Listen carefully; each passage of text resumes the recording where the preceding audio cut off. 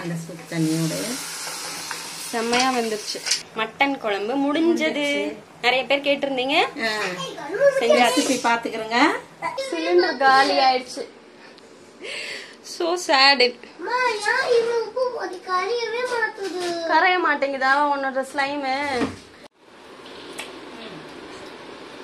எப்படி இருக்கு டாலிங் நல்லா இருக்கு. சரி சூடா இருங்க எடுத்து ஒன்று சாப்பிடுவேன் ஆறட்டும். ஆறணும்னு சாப்பிடுங்க எல்லாம் அம்மா என்ன ஒரே சிரிப்பா இருக்கு? வணக்கம் மக்களே. எல்லாரும் எப்படி இருக்கிறீங்க? இன்னைக்கு நம்ம வீட்ல ஆட்டுக்கறி ஸ்பெஷலு வாங்க அதை என்னெல்லாம் என்னெல்லாம் வாங்கியிருக்கிறேன்னு வந்து பாருங்க. அதை எப்படி சமைக்கிறேன்னு பாருங்க. எப்படிலாம் க்ளீன் பண்றேன்னு பாருங்க. வாங்க வாங்க வாங்க. எல்லாத்தையும் பாத்துருவோம். ஆமா. இது ஆட்டுக்கறி. ஆட்டுக்குழம்பு கறி குழம்பு வைக்க போறேன். இது ஆட்டுக்கால் க்ளீன் பண்ணணும். இப்ப இதெல்லாம் நான் வந்து க்ளீன் பண்ணணும். க்ளீன் பண்ணி ஆட்டுக்கால் சூப் வைக்கிறதுக்கு. சூப் வைக்கிறதுக்கு மூளை பொரியல் பண்ணேன் அப்புறம் ஈரல் ஈரல் வறுவல் பண்ணேன் சுக்கா வறுவல் பண்ணுவேன். இது ரத்தம் பொரியல். சத்த பொரியல் சாப்பிடுவோம் நாங்க. நாங்க பேய் குடும்பம்லாம் இல்ல ஆனா சாப்பிடுவோம். நல்லா இருக்கும் இது. ஒரு சில ஃபேமிலிஸ்ல எல்லாம் சாப்பிடுவாங்க. ம், எங்க அப்பா அம்மா உங்க அப்பா அம்மா தான் எங்களுக்கு சொல்லி கொடுத்துருக்காங்க. கொஞ்சம் சாப்பிட சொல்லி. இருந்தாலும் மாத்திக்கிறலாம் இப்ப சாப்பிடுறோம். சமைக்கிறோம். இப்ப க்ளீன் பண்ணலாம். பார்க்கலாமா? ஆ, ஸ்டார்ட் பண்ணலாமா? ஆட்டுக்கால் வந்து இப்படிதான் க்ளீன் பண்ணணும். சொரண்டி சொரண்டி. ஆமா அவங்க சுட்டு கொடுக்குறாங்கல்ல கடையில? தோல் முடியெல்லாம் சுட்டு நல்லா க்ளீனா தான் கொடுக்குறாங்க. ஆனாலும் இந்த கருப்பெல்லாம் கொஞ்சம் எடுத்துட்டோம்னா நம்ம குழம்பு சூப் வைக்கும்போது அது நல்லா இருக்கும் பார்க்கறதுக்கு. இந்த கருப்பெல்லாம் இப்படி நல்லா சுரண்டி எடுத்துட்டு ம், நல்லா க்ளீனா போட்டு ஒயிட்டா சாப்பிடணும் அந்த கலரை ஒயிட்டா ஆக்கிடணும். ஓகேம்மா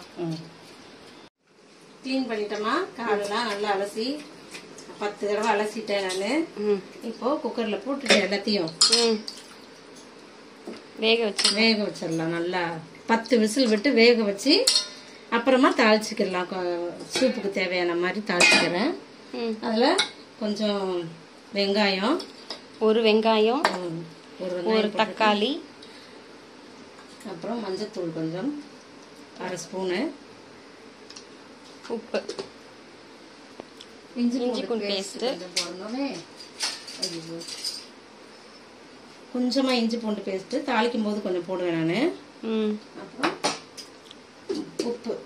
லைட்டாக உப்பு. கொஞ்சமாக தான் இப்போவும் உப்பு கொஞ்சமாக போட்டு சூப்புக்கு தேவையானது அப்புறம் போட்டுக்கலாம். ஓகே. அவ்வளோதான் தண்ணி ஊத்தணுமா? லைட்டாக ஊற்றி ரொம்ப ஊற்றினா தண்ணிலாம் வெளியே வந்துடும் ஒரு டம்ளர் தண்ணி. நான் அரை டம்ளர் எடுத்துட்டேன்.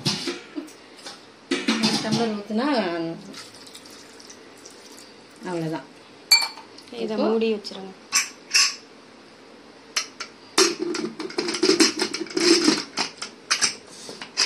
இப்போ அடுப்பில் வச்சிடலாம் ஓகே. இப்போ பத்து விசில் வந்துருச்சுன்னா ஆஃப் பண்ணிடலாம். அப்பதான் நல்லா வேகும். நல்லா கடிக்கிற எலும்பெல்லாம் கூட நல்லா வெந்துடும் இல்லைன்னா எலும்புலாம் அப்புறம் வேஸ்ட்டாக போயிடும்ல ஆமாம் சரி ஓகே நெக்ஸ்ட் என்னன்னு பார்க்கலாம். பார்க்கலாம். கால் நல்லா வெந்துருச்சுப்பா. குக்கர் இறக்கிட்டேன். ஸோ அது சூப்புக்கு தாளிச்சிடுவோம் ஆ சரிம்மா. எண்ணெய் சட்டி காஞ்சிருச்சு எண்ணெய் ஊத்துறேன். ம். இதுக்கு கொஞ்சமாவே போதும் எண்ணெயெல்லாம் ம் சூப்புக்கு. அது ஒரு கொழுப்பு சத்து தான் அதுல நிறைய இருக்கு. ம். இந்த பட்டை ரெண்டு இலை பிரிஞ்சி இலை தாளிக்கிறதுக்கு ம். அப்படியே பச்சை மிளகாய் ரெண்டு போட்டுருவோம். ஓகே.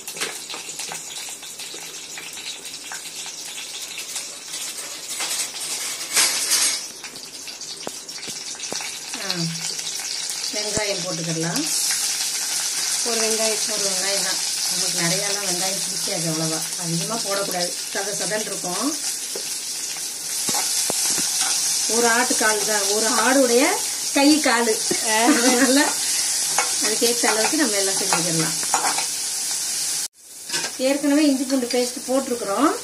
இதில் இன்னும் கொஞ்சம் போட்டுக்கிடலாம் சரி. தாளிப்புலையும் ஒரு பாதி தக்காளி போட்டுறேன் திரும்ப. அதில் ஒரு பாதி போட்டாச்சு.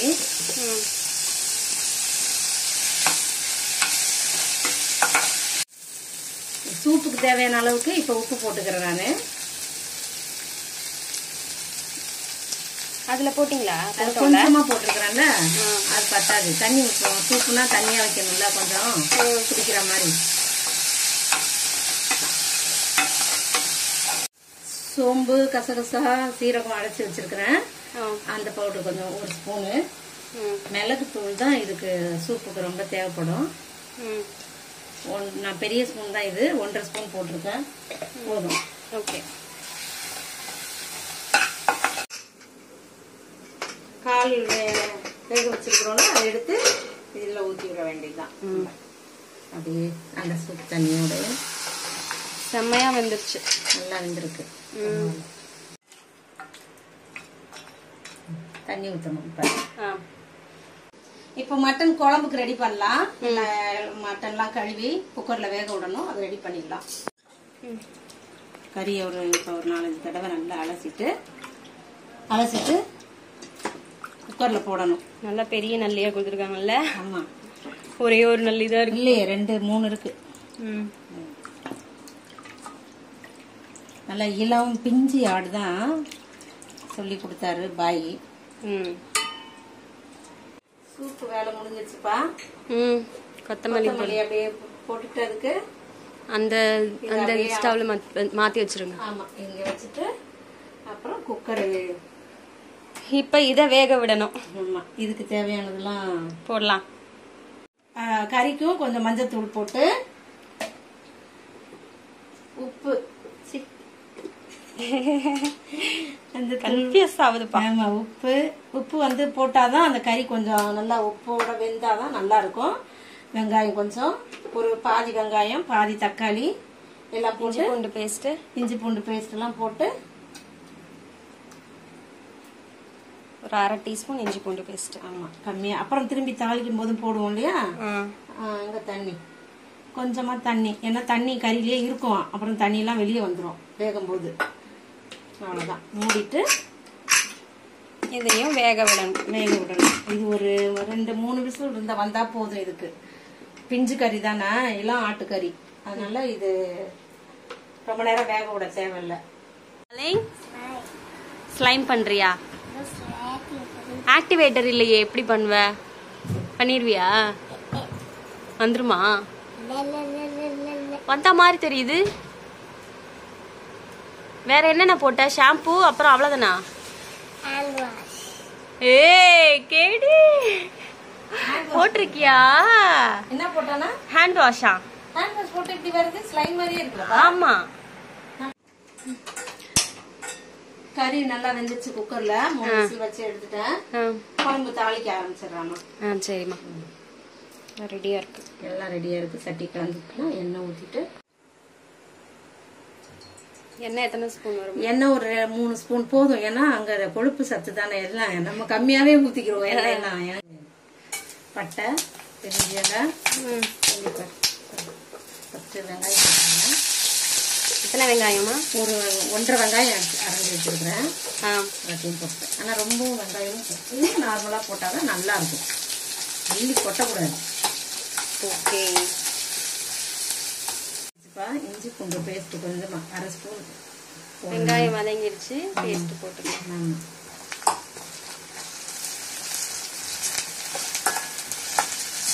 இதுவும் நல்லா அந்த இஞ்சி பூண்டு வாசம் போற அளவுக்கு நல்லா வதக்கிட்டு தக்காளி வந்து அரைச்சி வச்சிருக்கோமா? ஆமா ஆமா. எத்தனை தக்காளி? அதுவும் ரெண்டு தக்காளி சின்னதா ரெண்டு தக்காளி. தக்காளி போ நிறைய போடக்கூடாது. சிக்கன் குழம்புலாம் புளிப்பு வாசனை வந்துடும் நல்லா இருக்கும். புளிக்கிற மாதிரி இருக்கும் குழம்பு. சிலிண்டர் காலி ஆயிடுச்சு சோ சேட்? கரைய மாட்டேங்குதா? உன்னோட ஸ்லைமு நீ வேற. பாரு இங்க சிலிண்டர் காலி ஆயிடுச்சு அம்மை கஷ்டப்பட்டு இப்ப மாட்டணும். இஞ்சி பூண்டு பேஸ்ட் எல்லாம் நல்லா வதங்கிருச்சு நல்லா பச்சை வாசம் போயிடுச்சு. தக்காளி கொஞ்சம் ஊற்றிடுறேன் இப்போ. அரைச்சி ஊற்றுறேன் நான் தக்காளி. ஆ. நல்லா இருக்கும் அதுவும் நல்லா இருக்கும் இப்போ மட்டன் மசாலா தூள் கொஞ்சம் போட்டுக்கிறோம். நல்லா டே- ருசியா இருக்கும் இதுவும் டேஸ்டா இருக்கும். ஒரு பாக்கெட்டு ஓகே. அப்புறம் வந்து நம்ம வீட்டு மிளகாத்தூள் ஒரு ஸ்பூன் அரை கிலோ தானேம்மா? கிலோ கரைக்கி ஒரு பாக்கெட் ஃபுல்லா ஒரு டீஸ்பூன் நம்மளோட மிளகாத்தூள். எல்லாத்தையும் போட்டு நல்லா வதக்கி இந்த ஒரு சோம்பு சீரகம் கசகசா பவுடர் இது ஒரு ஸ்பெஷல் தூள் எங்க அம்மா ரெடி பண்ணி வச்சிருக்காங்க எப்பவுமே இது நல்ல வாசமா இருக்கும். எந்த குழம்பு வச்சாலுமே டேஸ்டா இருக்கும். இது ரெடி பண்ணி வச்சுக்கிறோங்க. வேக வச்சிருக்கோம்ல கறி. அப்படியே தண்ணியோட அப்படியே போட்டுடலாம்.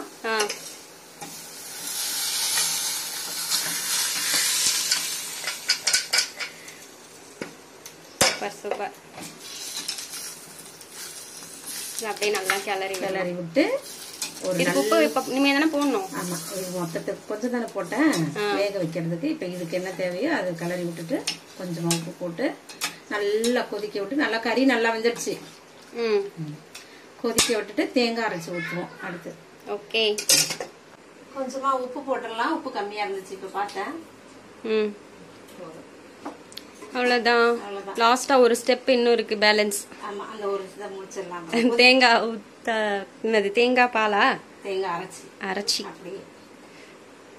லாஸ்ட் டைம் நான் வந்து உருளைக்கிழங்கு போட்டு மட்டன் குழம்பு வச்சிருந்தேன்.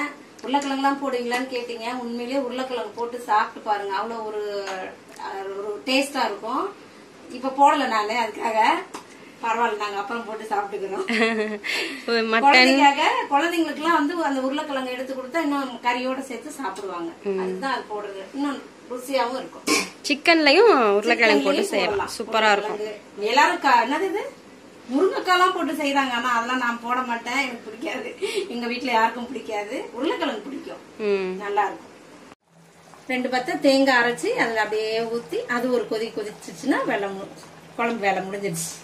சூப்பர். மட்டன் குழம்பு முடிஞ்சது. நிறைய பேர் கேட்டிருந்தீங்க. செஞ்சு ரெசிபி பாத்துக்கிறேங்க. என் வீடியோவை வச்சு வச்சு பார்த்து செஞ்சு பாருங்க. சூப்பரா இருக்கும் உண்மையிலேயே. நல்லா கொதிக்க கொதி வரட்டும். குழம்பு நல்லா கொதிச்சிருச்சுப்பா. வேலை முடிஞ்சிருச்சு. கொத்தமல்லி தூவி குழம்பு ஆஃப் பண்ணி இறக்கிடலாம் இதை. அடுத்து வேற அடுத்தது செய்ய ட்ரை பண்ணலாம் இந்தா ஒன்று மூளையை கட் பண்ணலாம். கட் பண்ணி அப்படியே வறுவல். நாலு பார்ட்ஸா வர மாட்டேங்குது வழுக்குது. ஆ, அவ்வளவுதான். இப்படி. இது ஒண்ணு தனியா. அங்க சால்வி சூப் குடிச்சிட்டு இருக்கான். அவருக்கு எம் அப்படியே டேஸ்டா இருக்குன்னு குடிக்கிறாரு பாரு. டாலே எப்படி இருக்கு. கடி. கடி கடி. அந்த பக்கம் இருக்கே. சதை.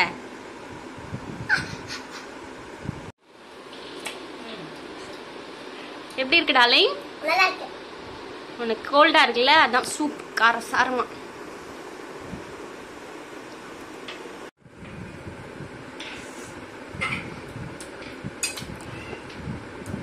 டேஸ்டா இருக்கா. சரி அந்த காலெல்லாம் சாப்பிட்டு முடிச்சிரு என்ன? மசாலாலாம் போட்டேன். மஞ்சத்தூள் இஞ்சி பூண்டு பேஸ்ட் மிளகாத்தூள் மிளகுத்தூள் எல்லாமே போட்டு நல்லா. இது பண்ணிட்டேன். இது அப்படியே வந்து எண்ணெயில போட்டு ஃப்ரை பண்ண போறோம். ஆமா. நான் கரண்டியாலே எடுத்து போடுறேன்.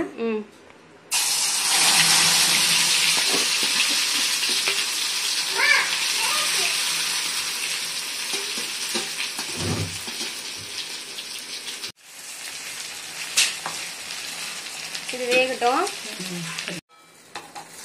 சூப்பரா வறுத்து வறுத்தாச்சு. மூளை ஃப்ரை முடிஞ்சிருச்சு. எடுத்து பிளேட்ல வச்சிடலாம். செம்மையா இருக்கு பார்க்கவே. சரி சூடா இருங்க இல்லைன்னா எடுத்து ஒன்று சாப்பிடுவேன் ஆறட்டும். ஆறணும்னு சாப்பிடுங்க எல்லாம். ஈரலை கட் பண்ணிட்டு ம். சூப்பர் ஃபாஸ்டா கட் பண்ணிடலாம். சிஸ்டர்ல தான் நல்லா வரும். ஆமா. ஸ்வைங் ஸ்வைங் ஸ்வைங் ஈரல் வறுவல் முடிய போகுது. மிளகு வறுவல் ஈரல். ஈரல் மிளகு வறுவல். வறுவல். லாஸ்டா மிளகு தூள் போட்டுக்கலாம். அதான் அந்த ஃப்ளேவர் அப்படியே இருக்கும். இது எப்பயும் செய்யற மாதிரி தான் வெங்காயம் தக்காளி ஆமா. பச்சை மிளகா இஞ்சி பூண்டு பேஸ்ட்டு. அப்புறம் மிளகாத்தூள்.